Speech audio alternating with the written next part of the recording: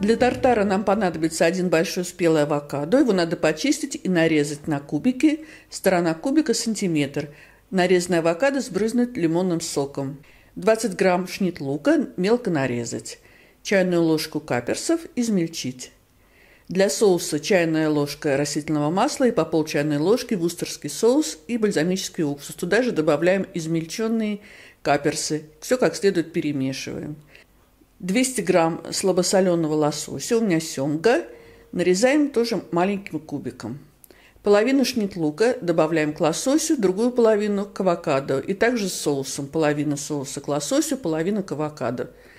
Устанавливаем на тарелку кулинарное кольцо – и слоями выкладываем авокадо и лосось, немножко утрамбовывая.